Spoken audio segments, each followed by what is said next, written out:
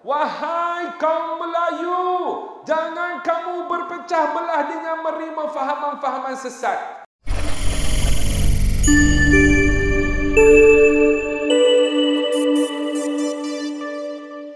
Assalamualaikum warahmatullahi taala wabarakatuh.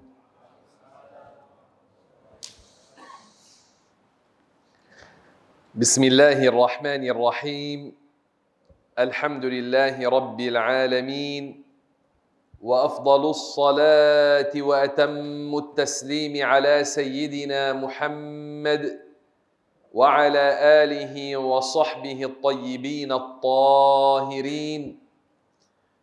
اللهم لا سهل إلا ما جعلته سهلا وأنت تجعل الحزن إذا شئت سهلا. اللهم علمنا ما ينفعنا وانفعنا بما علمتنا وزدنا علما. اللهم بارك لنا في رجب وشعبان وبلغنا رمضان وبلغنا رمضان وبلغنا رمضان يا أرحم الراحمين. اللهم فرج كرب المسلمين في فلسطين. اللهم يا ربنا انصر المسلمين في فلسطين. اللهم اهزم اليهود وانصرنا عليهم يا أكرم الأكرمين أما بعد مسلمين dan muslimat rahimakumullah subhanahu wa ta'ala Alhamdulillah apabila kita bertemu dalam majlis ilmu berkumpul dalam majlis yang mulia majlis ilmu maka itu adalah nikmah yang besar daripada Allah Subhanahu wa taala pada hari ini betapa ramainya ada orang yang telah meninggal dunia dan telah dibawa ke tanah kubur. Tapi kita masih lagi diberikan peluang untuk menambahkan amalan kita sebelum kita meninggalkan dunia ini. Maka alhamdulillah ini adalah nikmah yang besar daripada Allah Subhanahu wa taala Majlis ilmu adalah majlis yang turun padanya rahmah dan barakah dan disekelilin oleh para malaikat dan ia adalah taman syurga. Maka hindalah kita semua hindalah kita hindalah kita ikhlaskan niat kerana Allah Subhanahu wa taala apabila belajar ilmu agama apabila kita berada dalam majlis ilmu. Muslimin dan muslimat rahimakumullah subhanahu wa ta'ala Allah Subhanahu wa taala telah berfirman dalam Al-Quran Al-Karim, "Wa ma arsalnaka illa rahmatan lil alamin." Sadaqallahu al-aliyyul azim. Rasulullah sallallahu alaihi wasallam telah diutuskan oleh Allah Subhanahu wa taala dengan agama yang mulia agama Islam. Rasulullah sallallahu alaihi wasallam diutuskan sebagai rahmah. Dia rahmah bagi kita sallallahu alaihi wasallam. Dia yang telah mempertunjukkan kepada umat ini jalan ke syurga. Dia sallallahu alaihi wasallam sebab pada kebaikan yang kita ada padanya daripada kebaikan uh, kita melaksanakan taat kepada Allah, melakukan ibadah dia sallallahu alaihi wasallam rahmah yang Allah taala telah kurniakan kepada kita dan dengan sebab petunjuk ajarnya sallallahu alaihi wasallam kita berkumpul dalam majlis ilmu kita menunaikan salat kita membuat zikir kita membaca al-Quran sallallahu ala Muhammad sallallahu alaihi wasallam. Muslimin dan muslimat rahimakumullah subhanahu wa taala Nabi ini yang mulia, Nabi ini yang agung, yang Allah Ta'ala telah menjadikannya seafdal-afdal ciptaannya dan telah memilihnya sebagai Nabi bagi umat akhir zaman ini. Nabi ini yang mulia, Allah Ta'ala berfirman dalam Al-Quran menyuruh baginda sallallahu alaihi wasallam untuk uh, untuk uh, untuk dia katakan apa yang warid dalam ayat Allah Taala berfirman Qul in kuntum tuhibbun Allah fattabi'uni yuhibbukum Allah Mafhumnya katakan wahai Muhammad jika kamu cinta kepada Allah, ikutlah saya, nescaya Allah Ta'ala meradai kamu. Yang mahu dapat ridha Allah, kena ikut Nabi ini, Nabi Muhammad sallallahu alaihi wasallam. Muslimin dan muslimat rahimakumullah, seorang tidak jadi bertakwa kepada Allah, tidak jadi salih, melainkan dengan ikut Nabi Muhammad sallallahu alaihi wasallam. Dan yang mahu ikut Nabi Muhammad sallallahu alaihi wasallam perlu dia tahu apa yang baginda telah mengajarkan. Macam mana mahu ikut kalau tidak tahu apa yang dia telah ajarkan?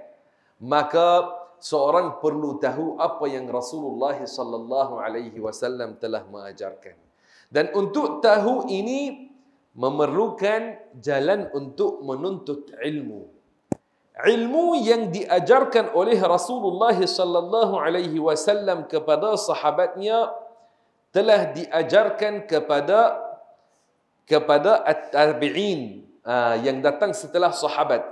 At-tabi'un telah mengajarkannya kepada yang setelah mereka, atba'ut tabi'in. Yang setelah itu mereka telah mengajarkan kepada yang setelah mereka juga.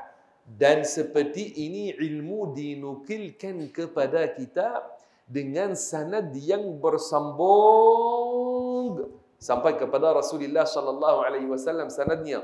Uh, maka Rasulullah sallallahu alaihi wasallam telah mengajarkan ilmu secara bertalaqi dan para ulama menukilkan ilmu itu sampai kepada kita.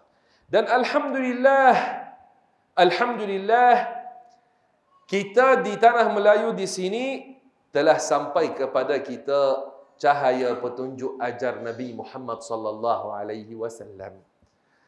Walaupun kita di sini di tempat yang yang namanya terputus tapi sanad sampai kepada Rasulullah sallallahu alaihi wasallam bersambung kepada orang Pinang ke sini. Macam mana sambung sanad itu kepada orang Pinang? Siapa di Pinang yang dapat sanad bersambung kepada seafdal-afdal ciptaan Allah Muhammad sallallahu alaihi wasallam? Siapakah mereka? Mana mereka? Antara mereka di antara ulama uh, seberang di sini antara mereka tuan guru Syekh Abdullah Fahim yang dia seorang yang uh, telah uh, telah belajar ilmu dengan ulama besar di Makkah Al-Mukarramah. Dia lahir di Makkah. Ayahnya guru mengajar ilmu di uh, di uh, di Makkah, mengajar Al-Quran dan beliau Syekh Abdullah Fahim dia dia datang ke Penang sebelum merdeka dia sampai. Awalnya Ramai orang tak kenal siapakah orang ini. Sedangkan dia guru-gurunya dikatakan lebih daripada 40 orang guru-gurunya di Makkah Al-Mukarramah. Beliau datang dan mula mengajar di rumahnya bagi beberapa orang yang mereka penuntut ilmu tahu bahasa Arab dan dikatakan ketika itu Syekh Abdullah Fahim bahasa Melayunya tidak lancar kerana dia lahir di Makkah, besar di Makkah. Walaupun dia asal Melayu tapi lahir di Makkah, besar di Makkah. Maka uh, setelah itu uh, di, di, dia mula uh, mula mengajar kepada orang dalam masjid. Uh, mula mengajar di masjid, kemudian dia pergi berkhidmat dengan Sultan uh, Kedah. Dia jadi guru kepada Sultan dan keluarga Sultan. Kemudian uh, beliau balik dan uh, dia dipanggil oleh Sultan Perak dia jadi guru bagi Al-Madrasah Al-Idrisiyah di Perak. Dan dia jadi mufti pertama bagi uh, bagi negeri uh, Penang. Uh, setelah merdeka dia adalah mufti pertama bagi negeri kita ini. Ilmu beliau rahimahullahu taala tersebar di negeri Penang dan selainnya. Dan ilmunya bersambung melalui sanad ulama Makkah kepada kepada ulama yang besar. Antara guru-guru beliau adalah Tuan Guru Syekh Ahmad Wan Ahmad bin bin Wan Muhammad Zain Al-Fatani dan uh, beliau Syekh Wan Ahmad ini uh, dia telah belajar daripada Syekh Ahmad Zaini Dahlan, mufti Makkah, mufti Syafi'iyah di Makkah. Syekh Ahmad Zaini Dahlan dan Syekh Ahmad Zaini Dahlan seorang alim yang terkenal sanadnya sampai kepada Rasulullah sallallahu alaihi wasallam dan dia seorang ahlul bait. Dan selain tuan guru Syekh Abdullah Fahim adalah tuan guru Syekh Uthman Jalaluddin penanti Bukit Mertajam. Uh, yang orang Pinang yang belum sempat ziarah makam dia pergi ziarah makam dia.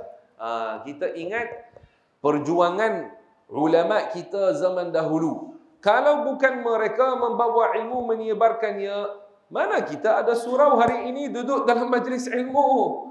Uh, mereka yang membawa ilmu, membawa agama, menyebarkan ilmu, maka jasa mereka kena tidak dilupakan. Hendaklah kita ingat jasa mereka. Uh, zaman sekarang ramai orang bila kita cakap tentang bola ingat uh, kita kata fulan pemain bola sepak yang masyhur ingat ramai orang tahu kenal tapi kita kata uh, Syekh Uthman Jalaluddin Mungkin orang tempat dia, dia tengok, eh, ini siapa dia ni? Siapa Osman Jalaluddin? Siapa tu? Osman Jalaluddin daripada ulama besar Penang. Ah, tak kenal. Subhanallahil azim. Subhanallahil azim. Ah, ramai pemuda zaman sekarang bagi tanya mereka sebut lima nama lima ulama daripada ulama Penang. Ah, mereka tidak mereka tidak hafal tidak hafal. Tapi tanya mereka, sebut nama nama nama lima nama bagi ulama Penang, uh, bagi pemain bola sepak daripada Penang. Uh, dia ingat, dia tahu nombor t-shirt dia, dia tahu uh, apakah dia makan sarapan pagi dia kerana dia follow up Facebook dia. Uh, dia tahu hafal. Hafal. Nombor t-shirt dia, dia hafal. Uh, tapi tentang ulama, tak ingat. Masya Allah. Sebenarnya ini antara plan yang barat mahukan kita untuk ikut. Uh, mahukan kita untuk kita sibuk dengan perkara yang menjauhkan kita daripada tahu sejarah kita dan mahu kita lupa sejarah kita supaya senang bagi mereka masukkan apa yang baru. Subhanallahil azim. Tuan Guru Syekh Uthman Jalaluddin Penanti rahimahullah antara gurunya di tanah Melayu adalah uh, adalah waliullah Al-Syeikh Muhammad Yusuf bin Ahmad Al-Kelantani yang lagi terkenal dengan Tokenali uh, gurunya. Dan antara antara gurunya juga Syekh Wan Ahmad Al-Fatani yang menulis kitab Faridah. Uh, antara uh, antara gurunya juga dia belajar di Makkah dia pergi belajar menuntut ilmu dengan ulama yang yang terkenal di Makkah. Uh, dan beliau telah membawa ilmu dan dia menetap di Bukit Mertajam mengajarkan orang ilmu dan ratusan pelajar yang pernah pergi kepadanya dan mereka telah jadi para guru dan menyebarkan dakwah. Tidak dilupakan juga ulama Eh, seorang daripada ulama yang masyhur yang terkenal di uh, di Pokok Sena, Pokok Sena Penang, uh, Kedah. Yang dia adalah uh, tuan guru Al-Syeikh Ahmad bin Tuan Hussein Kedah. Madrasah Khairiyah yang mengasaskan Madrasah Khairiyah di Pokok Sena. Uh, beliau juga ada sanad yang bersambung. Beliau belajar dengan siapa?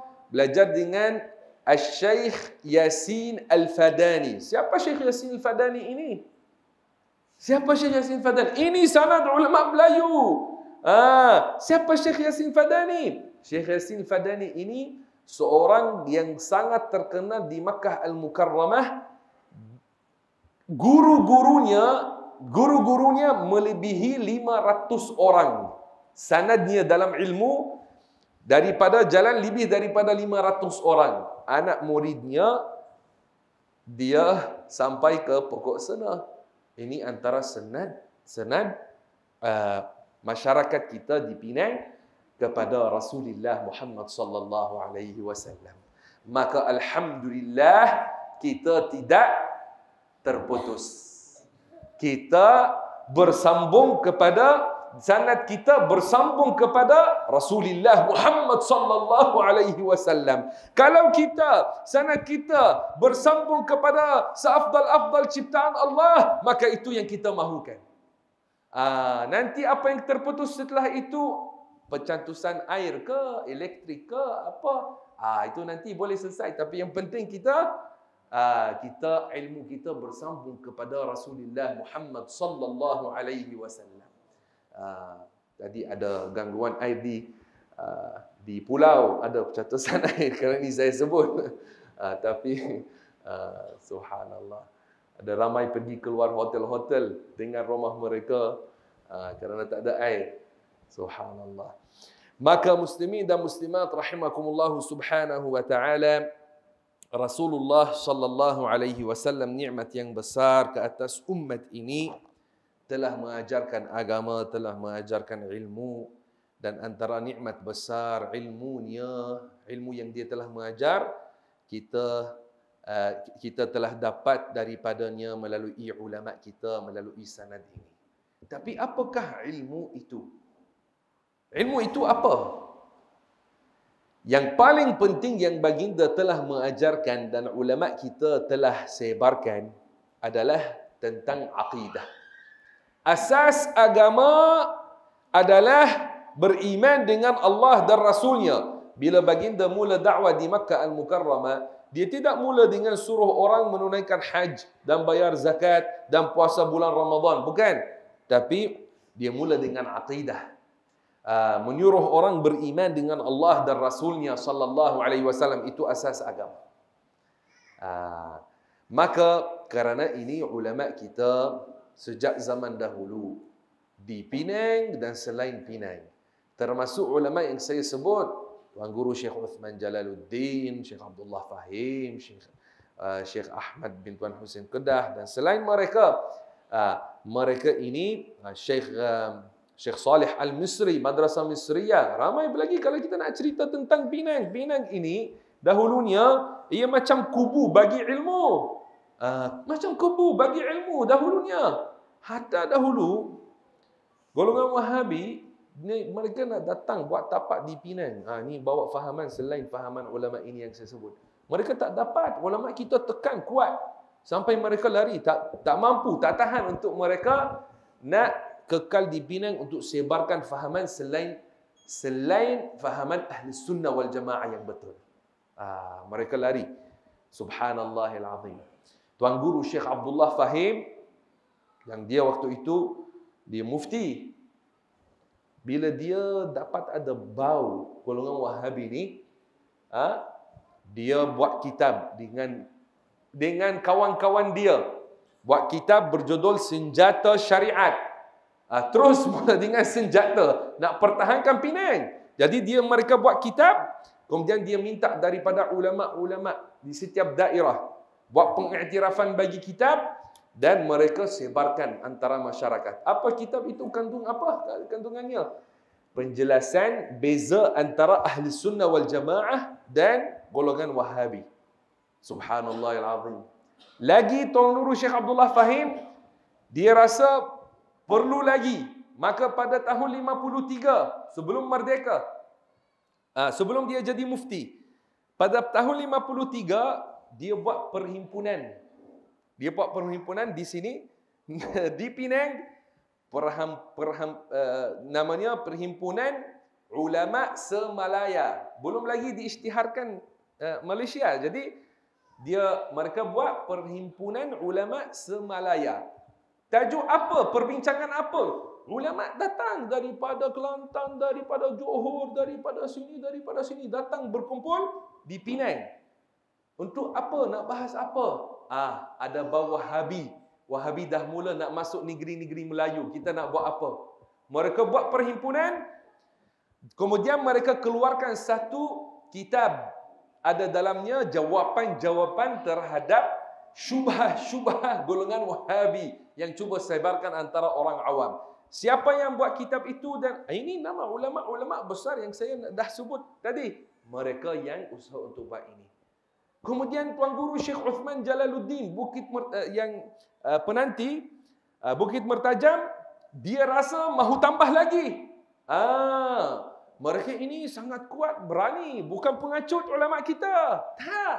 Mereka jelas bagi mereka apa manhaj ahli sunnah wal jamaah dan apa yang bercanggah dengannya. Jadi bila mereka ambil tindakan, ambil dengan penuh berani. Bukan goyang-goyang, was-was. Tak. Mereka berani, faham, ada ilmu yang tinggi. Jadi dia buat apa? Dia ambil keputusan untuk menulis sebuah kitab berjudul berjudul Matali'ul Anwar wa Majami'ul Azhar. Kitab tebal macam itu. Semuanya tulisan Jawi. Perbahasan apa dalamnya? Membongkar kesesatan golongan Wahabiyah. Ah, itu perbahasan dalamnya. Subhanallahil azim. Maka muslimin dan muslimat rahimakumullah subhanahu wa ta'ala ulama kita mereka faham apakah manhaj Rasulullah sallallahu alaihi wasallam dan mereka faham bahawasanya yang paling utama dalam agama kita adalah mengenal Allah Subhanahu wa taala. Kerana ini mereka membuat apa?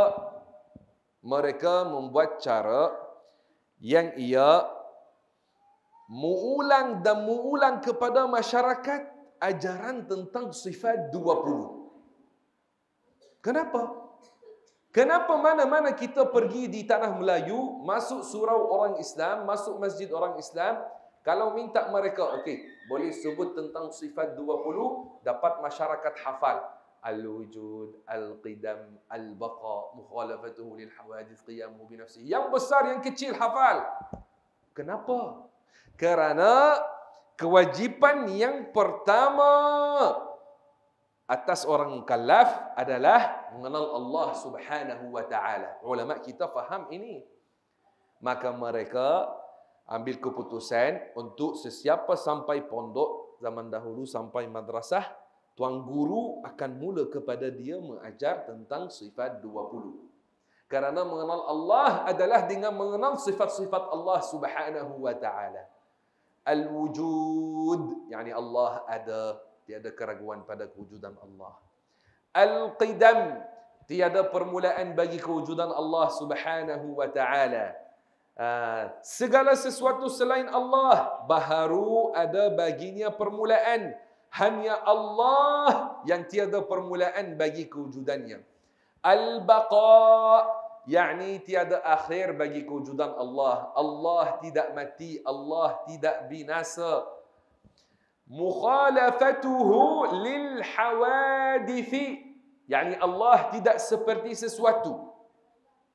Antara asas aqidah umat Islam mempercayai Allah tidak seperti ciptaan. Allah bukan seperti manusia. Allah bukan seperti cahaya.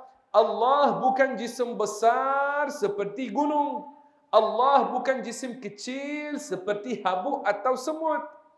Allah bukan jisim yang halus macam cahaya dan udara dan ruh. Tidak. Dan dia bukan jisim yang kasar seperti kayu, batu, manusia. Tidak. Bahkan Allah tidak seperti sesuatu. Dan Allah tidak bersifat dengan anggota badan seperti tangan, kaki, mata, telinga. Kita umat Islam tidak menyembah berhala, kita menyembah Allah.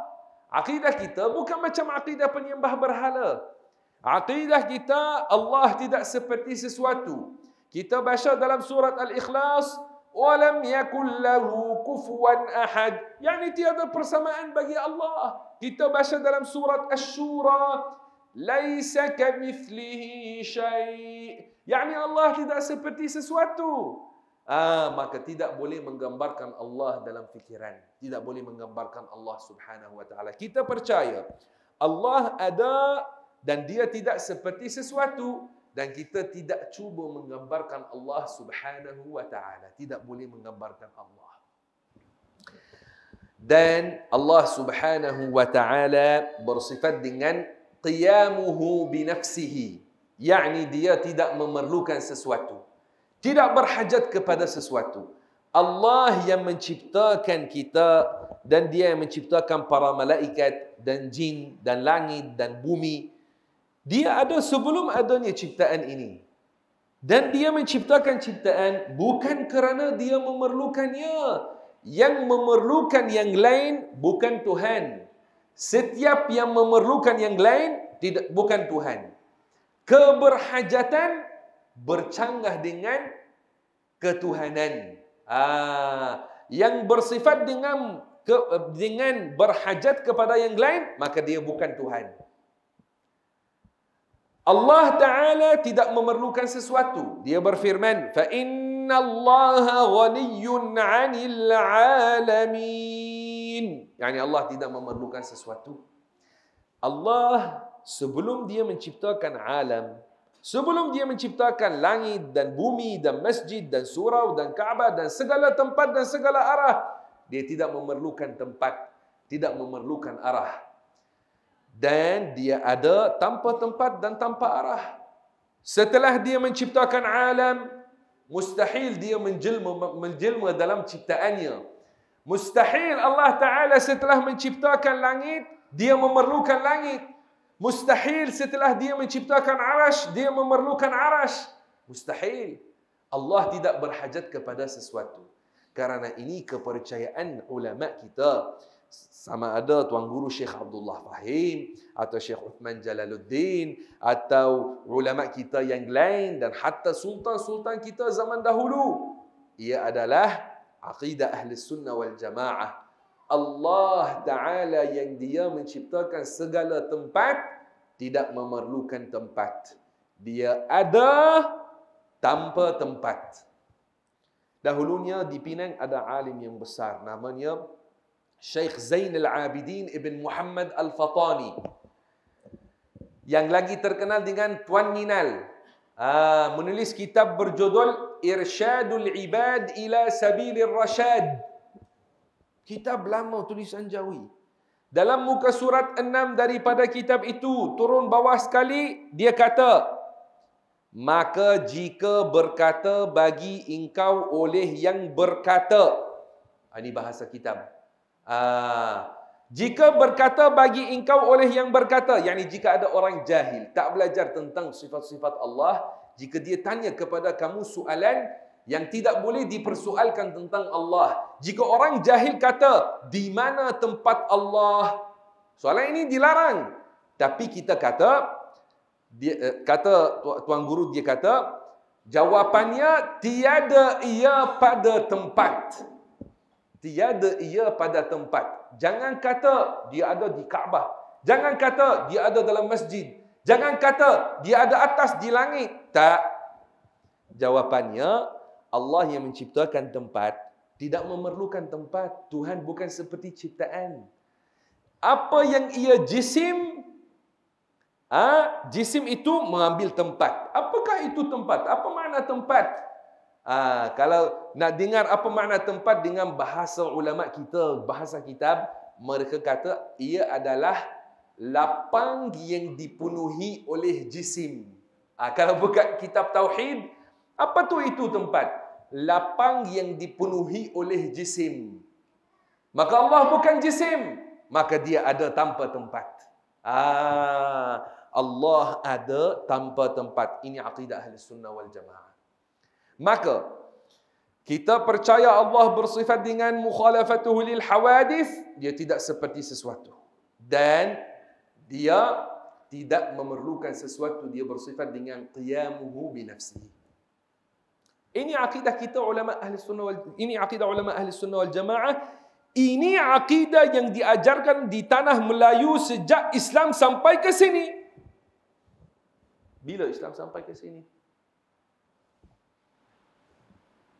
Ah, ini ceritanya panjang. Ada macam-macam pendapat dalam macam-macam.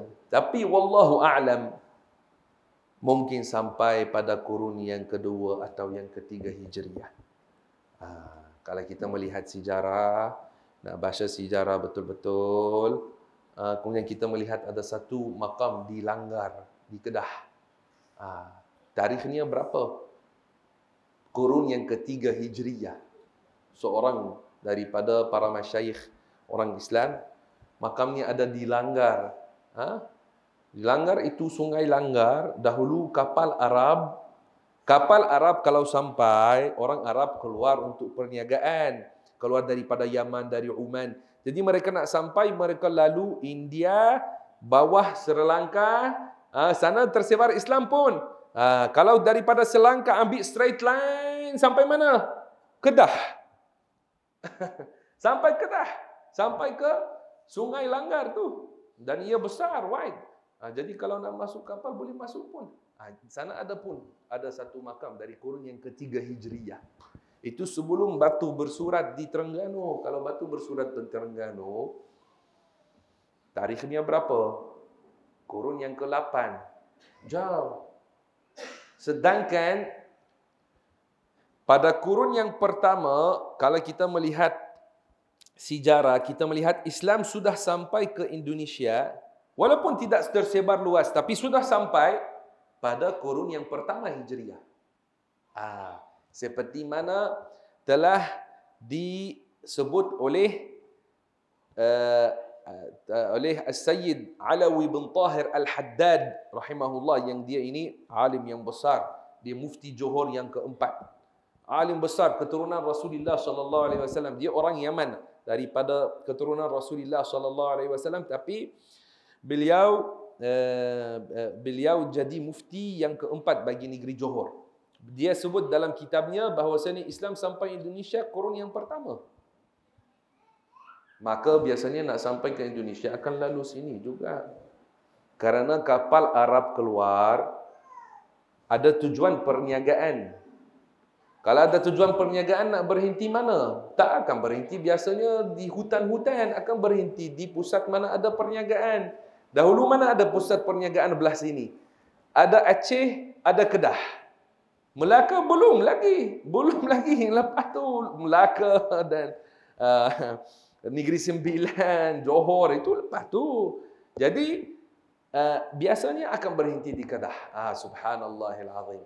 Maka sejak Islam sampai ke tanah kita, ini akidah yang diajarkan. Kalau kita nak masuk sebut nama-nama ulama lagi dan dan kita nak sebut detail ulama yang besar yang sampai dan menyebarkan ilmu dan sanad mereka sampai pagi kita tak habis. Tapi apa yang kita dah sebut beberapa nama itu cukup bagi orang yang ada kefahaman, dia cukup untuk faham Tanah kita ini tanah ahli sunnah wal jamaah. Ah, bukan tanah orang syiah. Bukan tanah syiah. Bukan tanah mujassimah. Bukan tanah khawarij. Tak. Ulama kita ulama ahli sunnah wal jamaah. Jelas. Sekarang datang lepas itu. Setengah puak. Kemudian mereka kata, kita ini nak buat tajdid. Ah, kemudian mereka kata ini bid'ah itu bid'ah. Kemudian mereka menyesatkan Abdullah Fahim, menyesatkan Syekh Osman Jalaluddin, menyesatkan ini, menyesatkan itu. Kemudian mereka kira semua datuk nenek kita kafir. Dan kononnya mereka sekarang nak membaharukan Islam di tanah kita. Tak, ini tidak diterima cara macam itu. Cara macam itu tidak diterima. Nak mengkafirkan semua ulama kita. Mengkafirkan tuan guru-tuan guru kita tidak diterima. Ah, kenapa mereka berani cakap macam itu golongan ini? Siapa golongan ini? Wahabiyah. Ah, Wahabiyah. Masyarakat perlu faham. Ini golongan Wahabiyah. Jadi kenapa Wahabiyah macam itu? Apa masalah mereka dengan ulama kita? Kenapa marah bila kita sebut kitab kuning? Ah, kerana pertama Ha, ada setengah orang sangka apa? Ada setengah orang sangka isu mereka hanya tak mahu buat doa lepas solat je. Hanya dia tak mahu buat talqin je.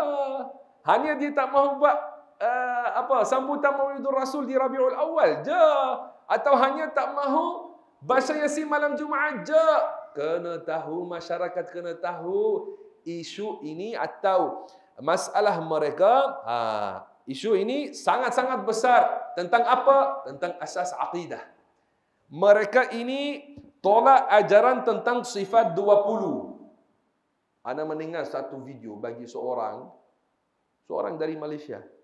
Kononnya doktor. Dia kata negeri Kedah penuh dengan syirik kerana diajar dalamnya sifat 20. Tak malu ke? Tak malu macam itu cakap. Subhanallahil azim. Kenapa mereka tak terima ajaran tentang sifat 20? Kenapa? Ah, sini jelas. Ha. Mereka ini percaya bahawasanya Tuhan jisim besar beranggota badan, tangan, kaki, mata, telinga dan mereka kata dia duduk di atas. Ada di antara mereka pun di Malaysia kata Tuhan duduk bersila. Yang mereka percaya bahawasanya Tuhan macam berhala Buddha duduk bersila tapi mereka tak kata di bumi. Mereka tak kata di batu cave mereka kata ada atas di langit. Kemudian mereka kata kononnya mereka ini kata kita salafi. Ha, mereka dakwakan diri mereka membawa fahaman salaf. Tak ini bukan fahaman salaf. Mana salaf dan mana Muhammad ibnu Abdul Wahab yang mengasaskan pergerakan mereka salaf itu yang benar adalah orang-orang Islam yang hidup pada tiga kurun hijriah pertama. Muhammad ibn Abdul Wahab bila dia meninggal dunia? Sebelum hampir 300 tahun je. Jauh. Antara dia dan salaf ada hampir 900 tahun. Ah, maka dia sangat jauh daripada salaf. Dia ini satu pergerakan sesat. Seperti mana kata oleh tuan guru, Al-Syeikh Wan Ahmad bin Wan Muhammad Zain Al-Fatani dalam kitabnya Hadiqatul Azhar wal Rayahin. Siapa ini Syekh Wan Ahmad ni? Ini guru ulama Melayu pada zamannya. Guru ulama Melayu pada zamannya. Ini penasihat kebanyakan sultan Melayu pada zamannya. Dia jadi guru besar di Makkah Al-Mukarramah, di Al-Masjid Al-Haram. Hatta Wahabi tak berani untuk nak keluarkan dia.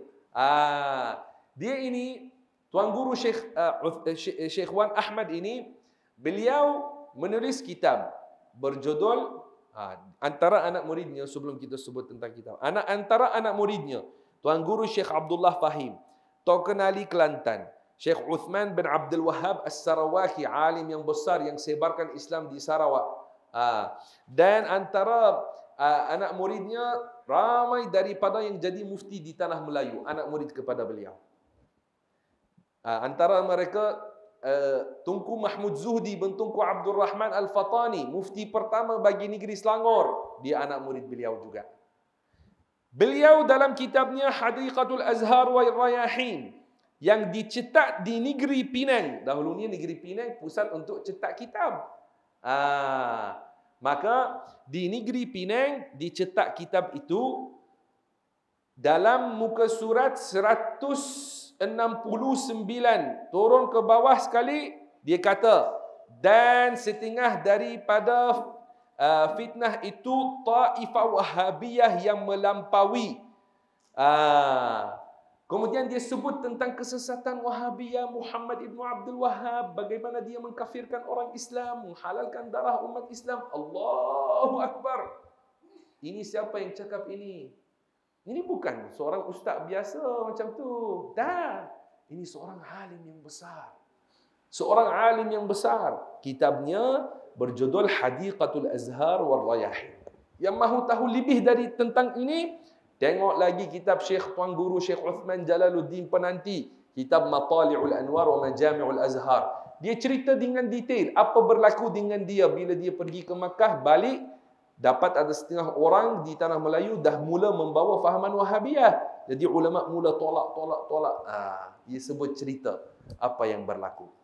Maka muslimin dan muslimat rahimakumullah subhanahu wa taala masalah antara ulama kita dan Wahabiyah bukan sekadar kita nak buat sambutan Maulidur Rasul atau majlis tahlil dan mereka tidak mahu. Sekarang dalam social media kita melihat ada setengah video tersebar orang-orang mereka duk sibukkan orang dengan nak cakap tentang isu-isu tahlil, talqin, sambutan Maulidur Rasul.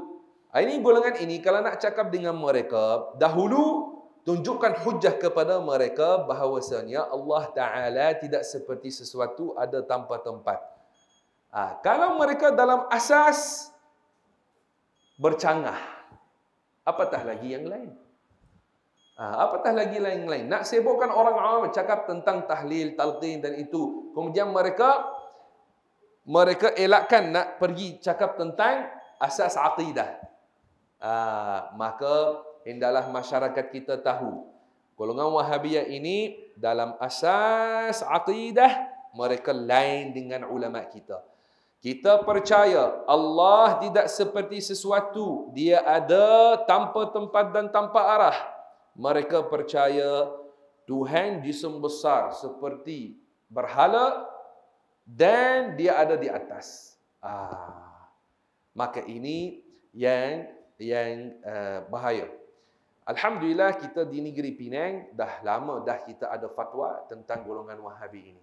Ah, dah lama kita ada fatwa, fatwa rasmi dikeluarkan di negeri Penang, bukan hanya di negeri Penang.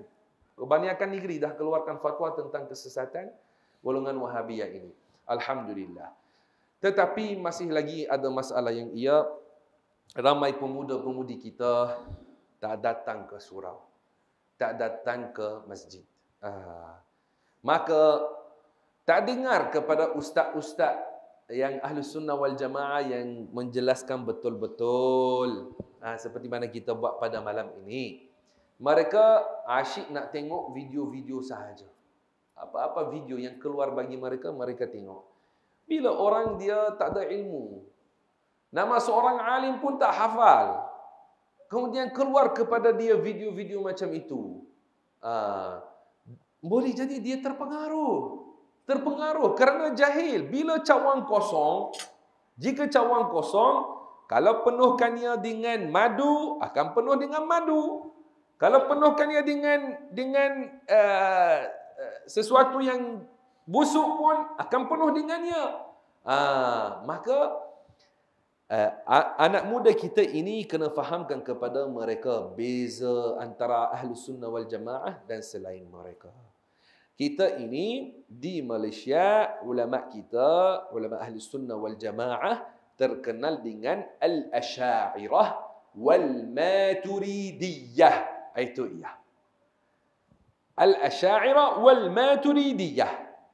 Syekh Abdullah Fahim rahimahullah setelah perjuangan besar yang dia buat untuk uh, mempertahankan Penang dan belah utara daripada fahaman Wahabiyah ini pada akhirnya dia dia berhasrat tinggalkan satu wasiat bagi orang Penang dan masyarakat Melayu.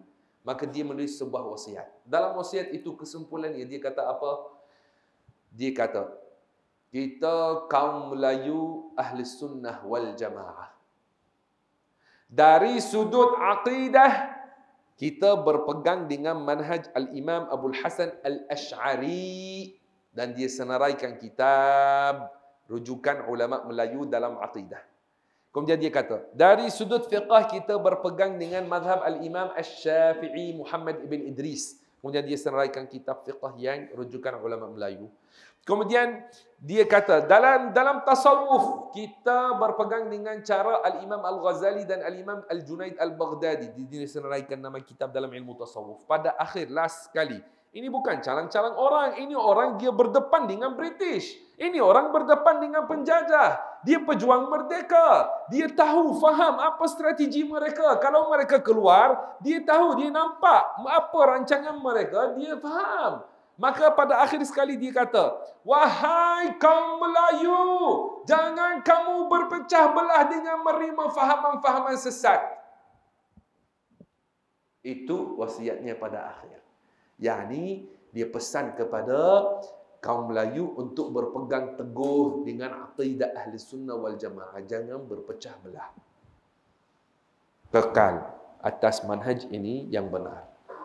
Jika ada setengah orang yang dia bukan macam ulama kita dia tak mantap dalam ilmu. Jadi dia banyak was-was. Dia tak tahu ke wahabiyah kalau mereka benar atau dia raswas jika wahabiyah benar atau tidak atau tidak atau apa manhaj mereka kerana dia tak ada ilmu yang tinggi maka bagi ini bagi tahu dia kalau kamu tidak ada ilmu banyak tengok kitab ulama kita supaya bila nak cakap depan orang awam jangan kelirukan mereka kekalkan orang awam seperti mana ulama dahulu mendidikkan mereka jangan kelirukan mereka dengan nak Mereka ragu-ragu jika Wahabi sesat atau tidak. Jangan. Dah ulama kita dah tulis kitab dan dah baginya jelas dah keluarkan fatwa. Bila dah ada fatwa, ada kitab, ada penjelasan, jangan lagi ada orang nak kelirukan orang awam kita tentang isu ini. Maka muslimin dan muslimat rahimakumullah subhanahu wa ta'ala kita ini ahlus sunnah wal jamaah dan ini nikmah yang besar daripada Allah subhanahu wa ta'ala.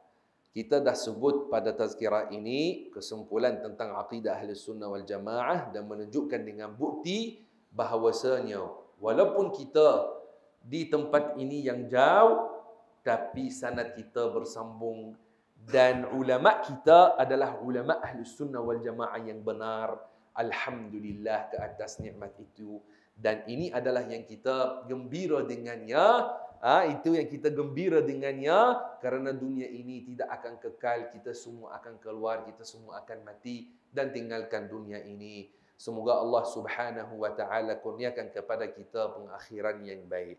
Sebelum kita tutup tazkirah ini saya mahu uh, dengar daripada muslimin dan muslimat apa yang uh, beberapa perkataan yang saya akan sebut. Saya minta saya akan minta kalian ikut ulang ia ada ada dalamnya kesimpulan bagi akidah ahli sunnah wal jamaah. Kaidah-kaidah yang harap semua hafal. Kerana ini seumpama perisai yang dengannya mempertahankan akidah. Okey, kenyataan pertama adalah ini. Ha, kata Al-Imam Ahmad ibn Hanbal, apa sahaja yang tergambar di fikiranmu Allah tidak seperti itu. Saya akan ulang sekali lagi. Apa sahaja yang tergambar di fikiranmu, Allah tidak seperti itu. Boleh muslimin dan muslimat ikut? Ha? Okey, saya sebut nanti boleh ikut. Apa sahaja yang tergambar Ah, saya kali pertama dalam surau ini. Saya mahu tengok semangat yang tinggi. Ah, Masya Allah Azim. Sekarang surau hampir penuh dah. Ha, maka kita mahu suara yang kuat. Kita pun dah di bulan Rajab. Ha, kita sekarang panaskan nak alu-alukan Ramadan nanti. Okey. Jadi kita mahu suara lagi kuat. Ha? Ha, bagi suara bergegar. Ha, ini harimau, harimau ahli sunnah wal jamaah. Alhamdulillah. Pinang juga belum kosong daripada perjuang ahli sunnah wal jamaah. Masya Allah. Okey. Apa sahaja yang tergambar di fikiranmu? Allah tidak seperti itu. Apa sahaja yang tergambar? Di fikiranmu? Allah tidak seperti itu. Apa sahaja yang tergambar?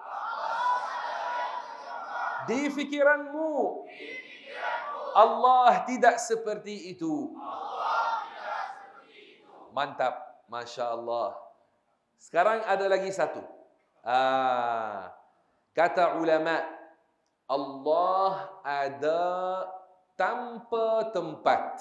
Ah, Allah ada tanpa tempat. Ah, kita juga ulang ini. Saya sebut harap muslimin dan muslimat ikut. Allah ada. Allah tanpa tempat. Allah ada. Tanpa tempat. Allah ada. Tanpa tempat. Mantap. Masya Allah al-azim. Masya Allah. Alhamdulillah. Barakallahu fikum. Jazakumullahu khaira. Qawakumullah. Hafizakumullah. Dan insyaAllah ta'ala. Uh, kita harap insya-Allah kebaikan ini bersambung insya-Allah taala uh, dan insya-Allah kita melihat lagi dan lagi ulama ahli sunnah wal jamaah daripada negeri Pinang ini yang jadi perjuang untuk mempertahankan agama kita, tanah air kita dan insya-Allah taala memanfaatkan umat. Barakallahu fikum wallahu subhanahu wa taala a'lam wa ahkam. Di sini ada sedikit pengumuman uh, yang ia alhamdulillah kita di Selangor ada uh, sebuah uh, kompleks education uh, namanya Baitus Saada Education Group. Yang mana di sana ada pelbagai program alhamdulillah antaranya adalah ada Ma'had Tahfiz Sains. Ma'had Tahfiz Sains itu yang ada dalamnya dua aliran, ada Ulul Albab yang mana ada akademik dan ada ha-, hafal Al-Quran dan ada juga bahasa Arab dan mereka ini belajar bahasa Arab sejak usia sejak masuk uh, form 1 mula belajar bahasa Arab. Kemudian mereka sambung belajar kitab dalam bahasa Arab. Uh, maknanya mereka jadi mantap dalam bahasa Arab. Ha, sejak mereka kecil, cuba gambarkan anak Melayu usianya 13 tahun fasih berbahasa Arab. Maka, macam mana kita rasa kegembiraan kita? Uh, Masya Allah al-Azim. Ibu ayah melihat anak mereka usia 13 tahun, 14 tahun, dia fasih berbahasa Arab. Sekarang kalau kita melihat ini, ramai orang nak rasa, oh pelik ini. Uh, tak biasa melihat orang Melayu 12 tahun, 13 tahun, dia fasih bahasa Arab. Tapi kalau fasih bahasa Inggeris, tak pelik bagi mereka. Kalau fasih bahasa Inggeris, ah, biasa tu. Kenapa boleh fasih bahasa Inggeris tak fasih bahasa Arab? Ah, dahulunya ulama kita mengutamakan bahasa Arab kerana ia bahasa yang paling mulia, bahasa yang paling afdal ah, untuk menggunakannya memahami agama dan mempertahankan agama. Ah, maka alhamdulillah ada ini. Dan ada juga arus perdana bagi yang tidak dapat tangkap uh, untuk jadi mahir dalam bahasa Arab ada juga arus perdana. Dan ada asrama bagi lelaki dan perempuan. Uh, dan kita ada SPM lepas SPM ada juga uh, STAM sijil tinggi agama uh, yang mana uh, ini bagi para pelajar yang mereka mahu jadi ustaz dan uh, guru agama mahu jadi daripada ulama insya-Allah boleh masuk dan ini pengajian dalamnya adalah dalam bahasa Arab. Ha, pengajian dalam bahasa Arab. Tapi andaikan pelajar datang tak tahu bahasa Arab, kita ambil, kita ada kursus persediaan bagi mereka. Kita ajar bahasa Arab daripada awal. Ha, maka bukan maknanya kalau tak tak ada basic bahasa Arab, dia tak boleh masuk. Boleh masuk juga. Kita membantu jika dia cerdik, boleh um, boleh uh, tangkap, boleh insyaAllah ta'ala. Dan tidak dilupakan juga warga emas kita. Ah, kita melihat zaman sekarang ramai warga emas kita lepas mereka pencin maka bukan macam zaman dahulu. Zaman dahulu kalau pencin pergi tinggal di pondok tapi pondok dalam hutan ambil pondok kecil kayu kemudian hari-hari basuh baju masak dengan kayu ke apa tapi zaman sekarang ramai orang dah tak biasa dengan cara hidup macam itu. Ha, mereka nak belajar ilmu, nak buat nak buat ibadah, nak buat kebaikan tapi tak biasa hidup macam itu. Jadi ramai tak pergi pondok. Ha, dan mereka kekal di rumah. Ada ramai warga emas habiskan masa dengan TV, habis masa, masa dengan phone. Atau dia tunggu cucu. Ha, cucu ini bila nak keluar sekolah, nak pergi ambil dia. Ha, rasa kosong, kosong. Nak nak buat sesuatu. Jadi dia tunggu cucu sahaja. Nak bawa cucu ke sekolah, bawa cucu daripada sekolah. Ha, mana ada bunga untuk siram sikit, mana ada ha, macam tu. Tapi sewajarnya warga emas kita ini kalau dah sampai 60 tahun ke atas, kerana fikir dah tak lama dah. Ha, kita umat Muhammad ini usia kita antara 60 ke 70. Ha, kebanyakan kita 60 ke 70. Maka dah sampai 60, kenapa persediaan? Ah, jangan buang masa, jangan jangan jangan sia-siakan masa. Maka ini perlukan kepada apa? Perlu kepada bantuan. Warga Mas ini kena ada program untuk mereka duduk belajar. Ha, ada program penuh daripada pagi sampai malam penuh dengan ilmu ibadah. Alhamdulillah kita ada program itu di Baitus Saadah, pondok warga emas dan ada bilik-bilik yang sesuai, bilik berekon, uh, untuk mereka yang biasanya biasa hidup di bandar style orang bandar maka insya-Allah di sana selesa bagi mereka. Maka bagi warga emas jangan banyak teragak-agak uh, adakah saya akan tinggalkan rumah pergi duduk di sana apa dah. Tinggalkan rumah sekarang kerana walau bagaimanapun akan tinggalkan rumah nanti. Ah, tapi tinggalkan rumah ke kubur nanti. Maka sekarang kita tinggalkan rumah untuk pergi ambil ilmu, buat amalan sebelum kita dibawa ke tanah perkuburan. Maka jangan kita banyak teragak-agak. Ini kena kena dibuat. Ah, dan insya-Allah manfaatnya banyak. Ada pelajar datang pun usia 86 tahun datang belajar. Bawa kitab, duduk dalam majlis, tulis. Masya Allah masih lagi fikiran dia bagus. Alhamdulillah. Tak nyanyok. Okey. Dia duduk belajar, faham. Alhamdulillah. Maka yang mahu tahu info lebih lanjut atau mahu berdaftar, boleh layari Facebook Baitus Saada Education Group. Ah, dan ada info lebih lanjut di sana tentang semua program. Ada lagi program-program banyak. Uh, ada daura, ada kursus, ada pondok citi university, macam-macam ada. Alhamdulillah. Dan ada asrama bagi program-program. Alhamdulillah. Barakallahu fikum. Jazakumullahu khaira. Wallahu ta'ala a'lamu ahkam. Alhamdulillah wa sallallahu wa sallam ala rasulillah. Allahumma gfir lana warhamna. اللهم قنا عذابك يوم تبعث عبادك اللهم اجعلنا من عبادك الصالحين اللهم ارزقنا يا ربنا علما نافعا وعملا متقبلا. اللهم بارك لنا في رجب وشعبان وبلغنا رمضان وارحمنا برحمتك الواسعة. اللهم فرج كرب المسلمين في فلسطين فرج كرب المسلمين في غزة. اللهم انصرنا على اليهود اللهم اهزمهم وانصرنا عليهم يا أكرم الأكرمين. وآخر دعوانا أن الحمد لله رب العالمين. Barakallahu fikum. Terima kasih banyak kepada AJK Surau dan kepada semua hadirin dan hadirat pada malam ini. Barakallahu fikum. Wassalamualaikum.